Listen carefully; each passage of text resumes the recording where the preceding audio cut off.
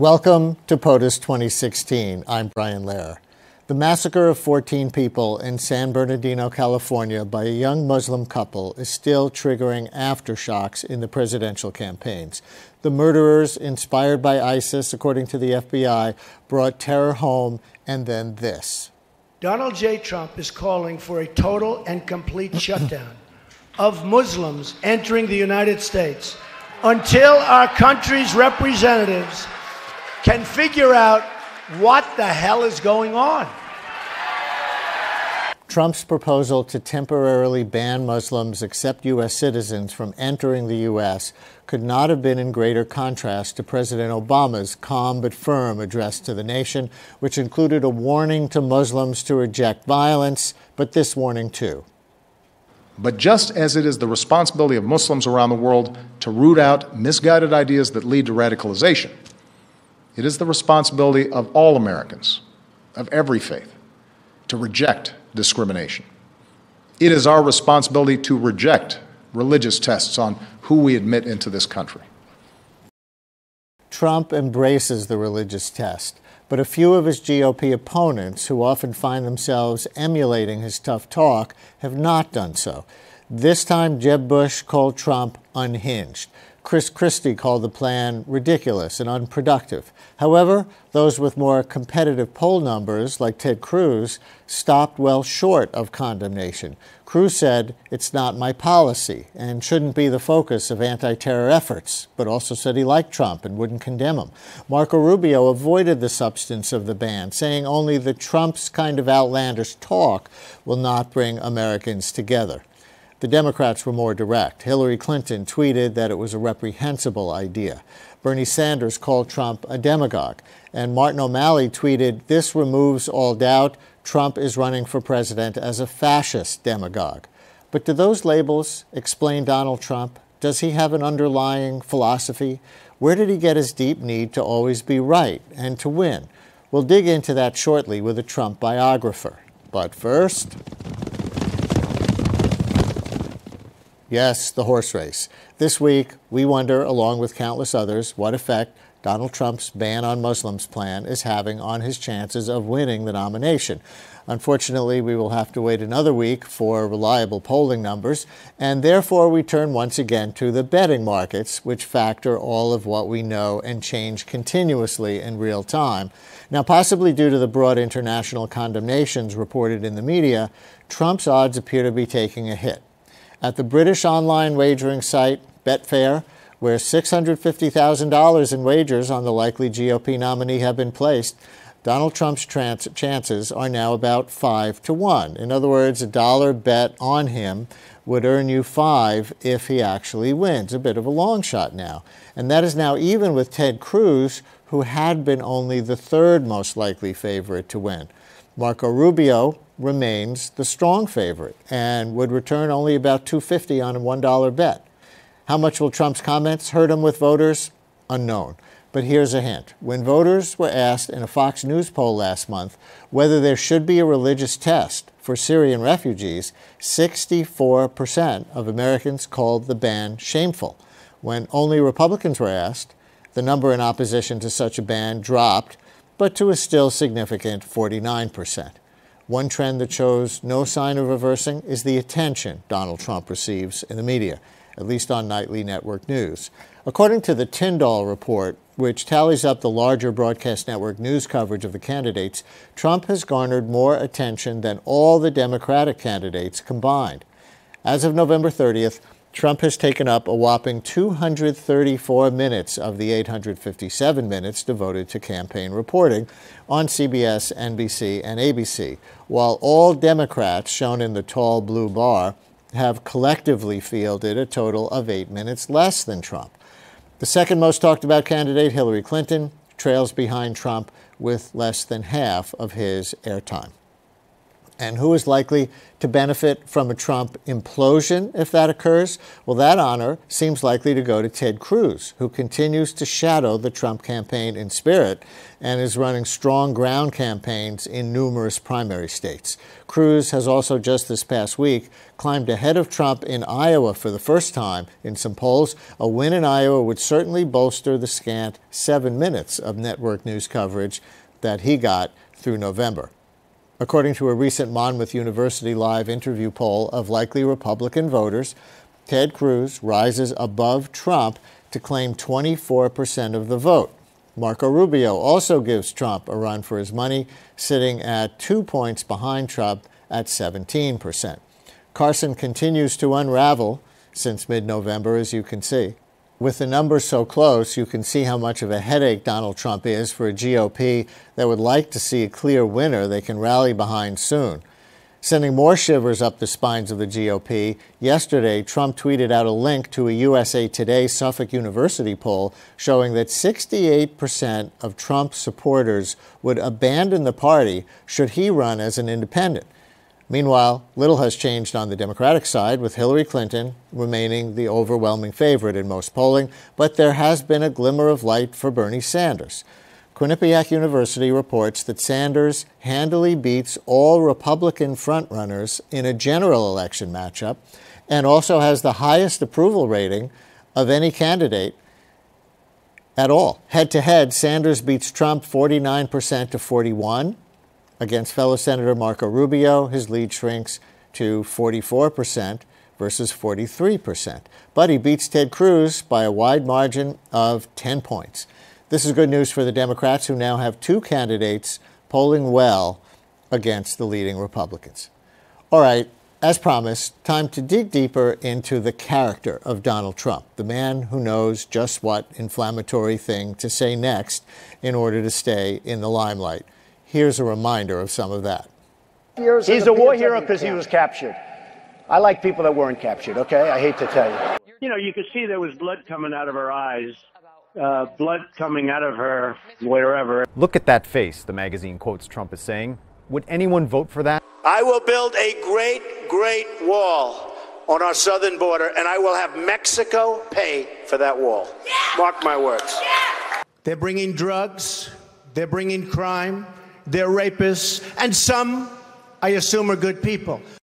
I saw people getting together and in fairly large numbers celebrating as the World Trade Center was coming down. I would bomb the out of them. That's the Donald Trump we know from the campaign. Let's turn back the clock and hear how that Donald came to be. On Monday, we spoke with biographer Gwenda Blair, author of The Trumps Three Generations of Builders and a Presidential Candidate. It's a scholarly, thick volume, a decade in the writing. Blair told us that Donald, his father, and grandfather had much in common exemplifying three phases of American entrepreneurship. It all began with Grandpa Trump, who immigrated from Germany to the U.S. and later rushed to the Yukon, not to mine for gold, but to mine the miners.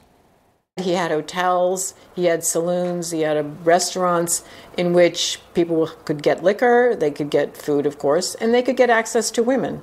It was a very wild time then. He saw it, he rode that wave got a nest egg together.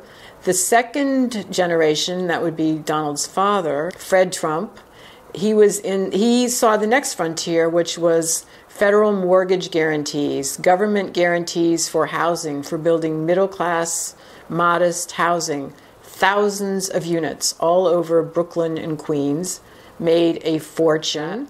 On the weekends, he had the kids going. This is Donald and his four siblings going around building sites, picking up unused nails because why would you waste a nail? And that was Fred. And then Donald comes along in the 70s when those subsidies, those government subsidies, aren't really available anymore.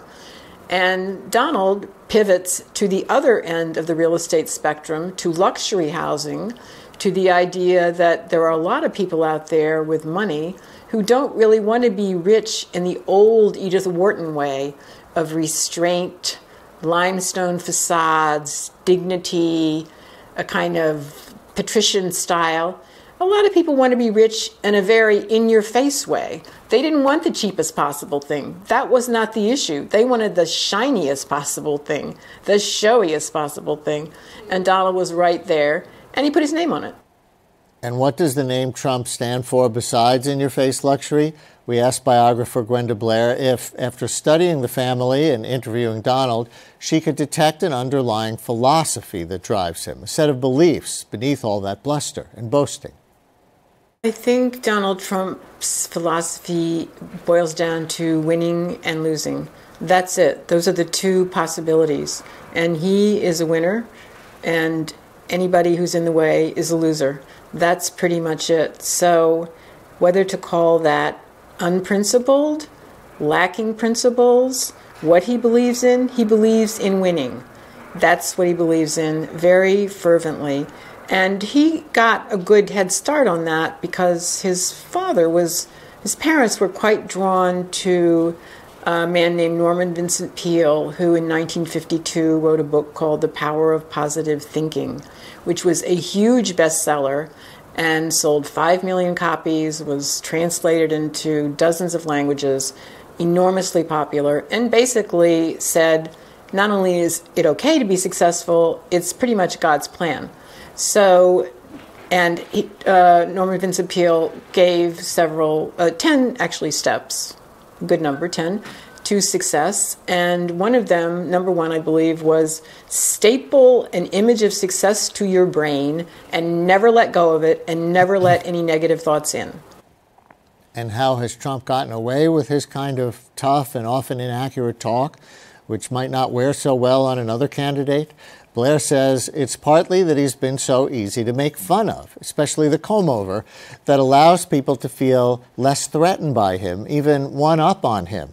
By the way, today the White House press secretary mocked his hair, and Hillary, who has laughed at him in the past, got more serious about Trump today on her website.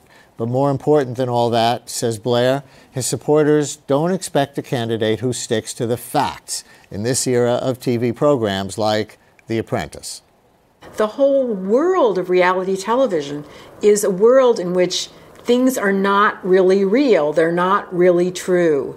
And everyone accepts that premise. So the truthiness, in Stephen Colbert's wonderful word, the truthiness factor, the fact that this stuff is, is accepted that it's not really true, I think that has had a very interesting impact now that during the campaign, time after time after time, Trump says stuff that's either pants on fire or pants a bit on fire or there's a little tiny piece of truth and then it's all exaggerated.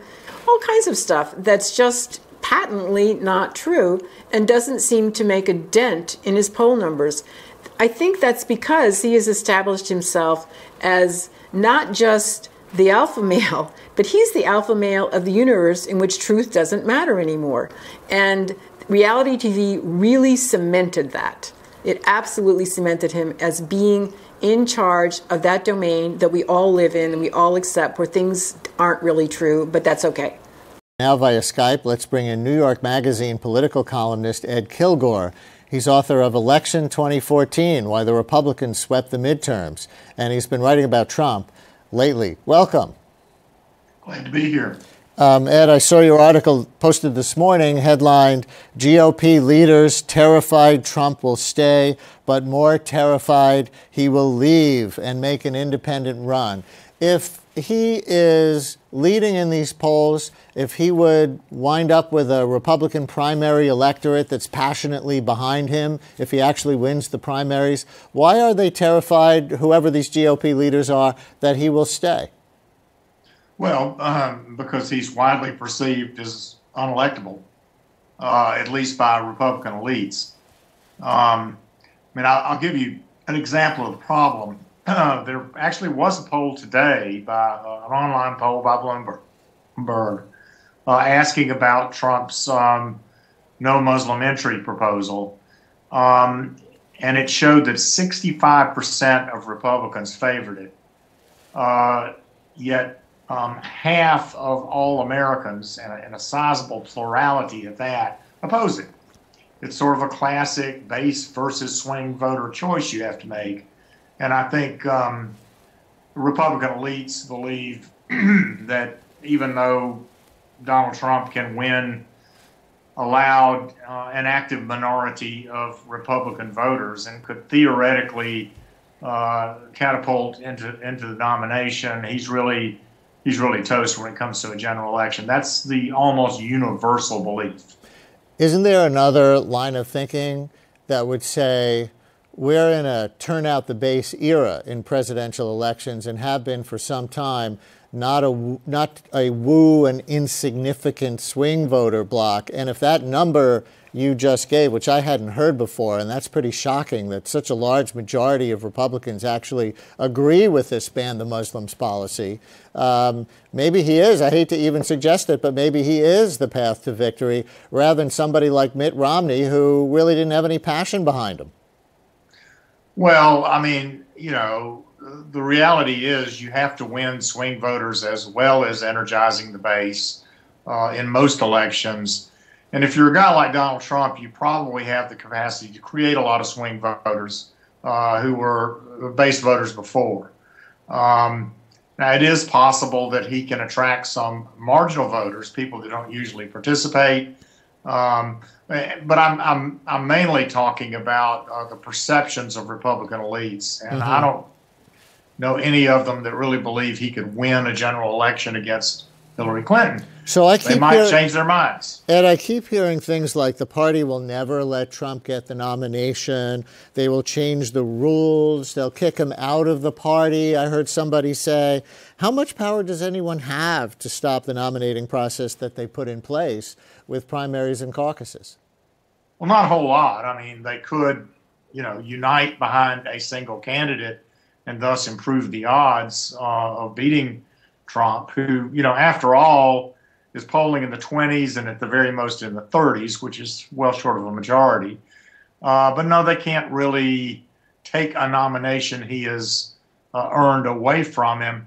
And then, then there's the bigger problem, which you alluded to earlier, that um, if they play too uh, loose with the rules, they are inviting him to run uh, as a third party or independent candidate in November. And just about, uh, I mean, every test we've found of that proposition indicates he would kill the Republican nominee and almost guarantee a Democratic victory. So they really don't want that. That's why they're in this sort of terrified if he stays, terrified if he leaves posture.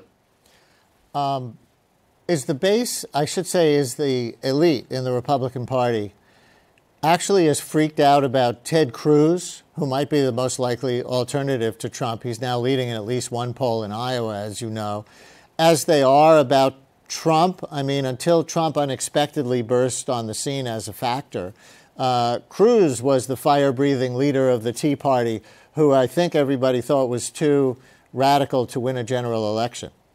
Right. And, I, and, and this is an example of how someone as galvanizing as Donald Trump can kind of change the equation and make someone like Ted Cruz, uh, you know, seem a lot less radical. I have to be pedantic here. The poll that you and so many other people have been quoting, uh, the Monmouth poll of Iowa, which a lot of people are saying shows that Ted Cruz has now moved ahead of Donald Trump and, and that first uh, caucus state is kind of a a funky poll. It's got a, a, a, likely caucus goer screen that puts an emphasis on prior participation in Republican primaries. If you'd had that sort of poll in 2008, it probably would not have predicted a Barack Obama victory in Iowa. He, like Trump, was trying to attract people from outside the normal universe of, of uh, party primaries. So I'm not. I'm a little skeptical. I'd like to see another poll or two showing Cruz ahead uh, before I, I'm, I'm willing to agree with this Cruz surge idea, but he is clearly doing better. Has probably moved into second place in many states, uh, including a lot of states in the South that aren't being polled very regularly.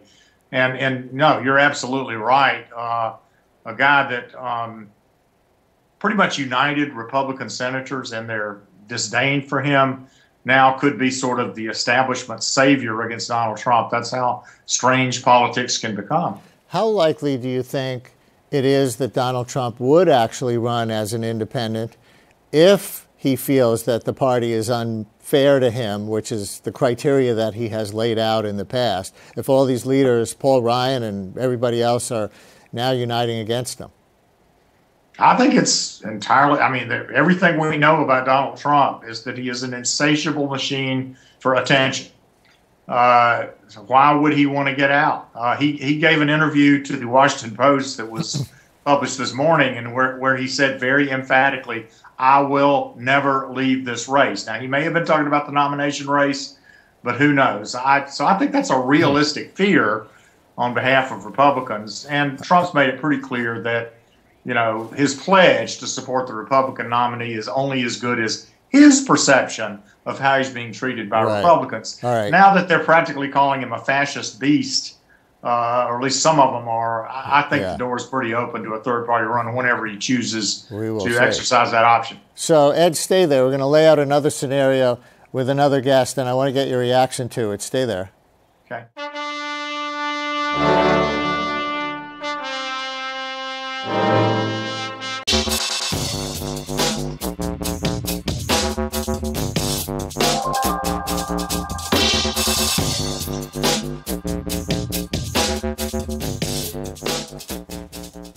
Time for evidence based politics, where we meet a scholar who can pour cold, hard facts on the overheated campaign rhetoric.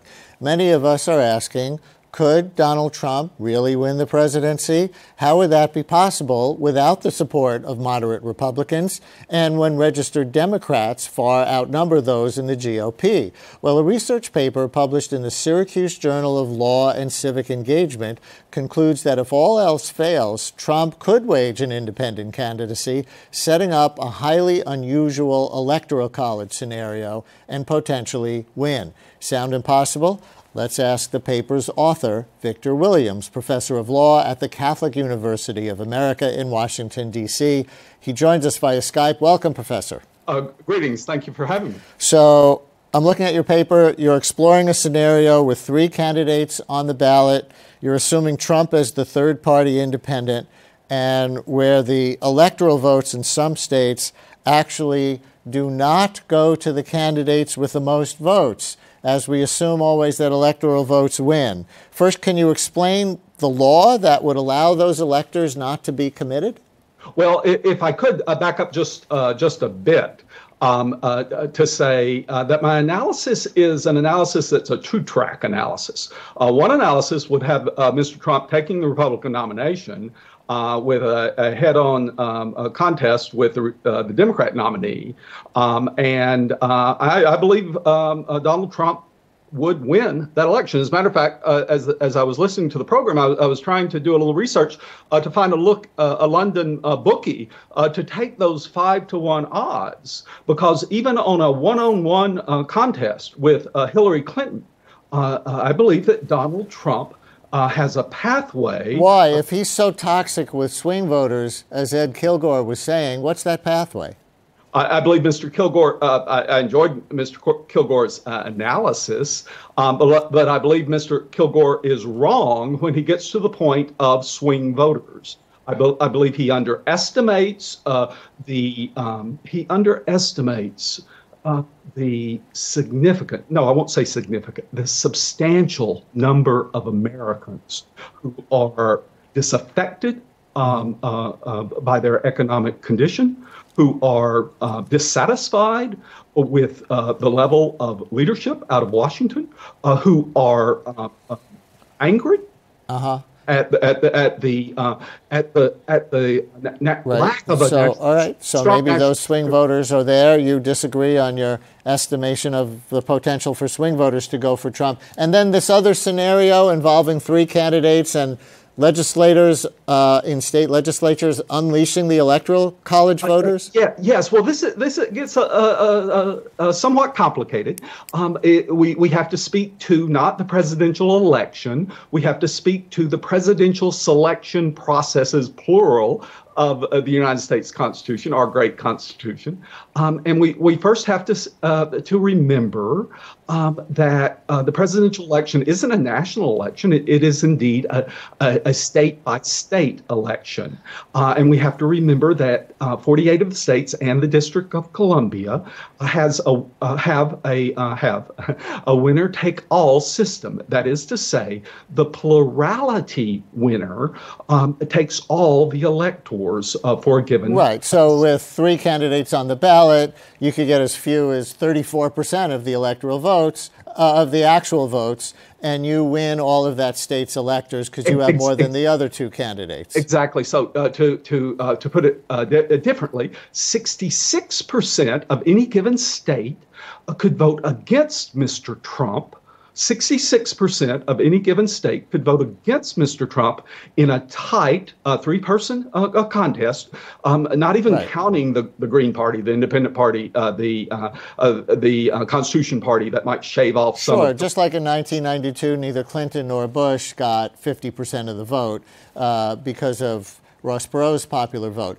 But the electors from the Electoral College would be those who are pre committed. Um, to their candidate, right? So wouldn't all those electors in your scenario be Trump electors? And then how would you get the state legislatures to get them to vote for someone else? Oh, that's it's it's it's such an interesting uh, process that our that our uh, that our framers established. Uh, first of all, we have to accept, we have to understand, um, and and I have to say this uh, as strongly as I possibly can. I believe the media, I believe the political elites have uh, failed to understand. They have failed to appreciate. They've they failed to, uh, and they totally underestimated um, the political dissatisfaction in our country. They totally underestimated. Right um, I see. So some of those electors who are actually for the Democrat and the Republican might then flip to Trump. I want to get a reaction to this scenario. I realize we're way out on planet speculation, Ed, uh, but what do you think about this? Because we are getting into wacky territory in real life, and you can react to his disagreement with you on swing voters, too. Well, you know, anything's possible, but I, think a lot of the speculation falls into the uh, what I'd call the category of I could make a ham sandwich if I had some ham, if I had some bread.